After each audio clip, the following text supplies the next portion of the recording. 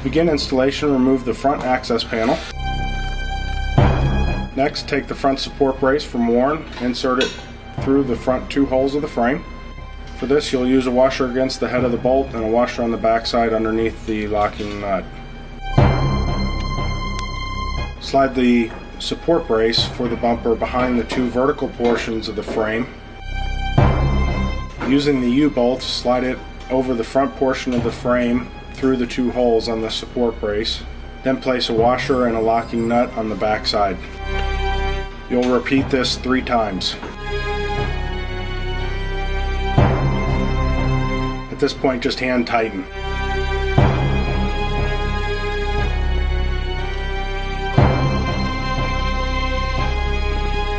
Next, place the bumper on top of the front bracket and to the outside of each of the back brackets.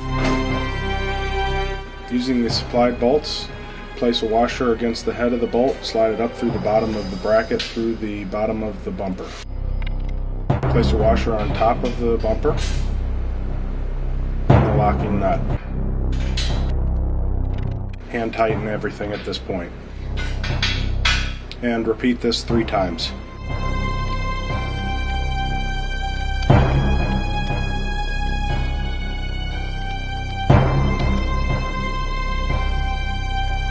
Next, position the frame mount with the side pieces of the bumper and slide a bolt through one of the holes. Use a washer against the head of the bolt and a washer on the back side of the brace with the locking nut. Hand tighten each of the bolts and repeat this three times for the left and right side.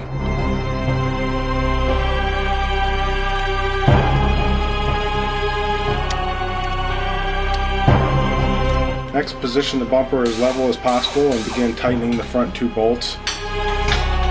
Before tightening these two bolts, make sure to check the levelness of the bumper against the plastic body lines.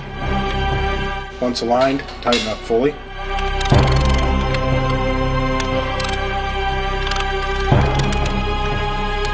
Next, tighten the four bolts that hold the bottom of the bumper to the front frame mount. Before you begin tightening the side mounting brackets, make sure to double check that the U-bolts are not bound up at all against the frame.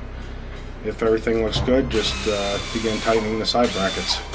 We'll repeat this for the other side as well.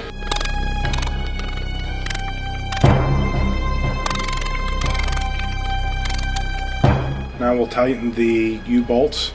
Tighten these a little bit each time, making sure that there's proper amount of thread for each nut. There's four of these as well, so you'll repeat this three more times, uh, two on each side.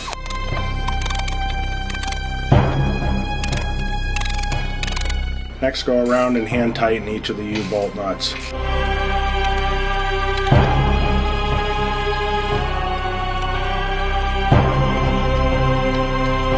Repeat this same process for the other side.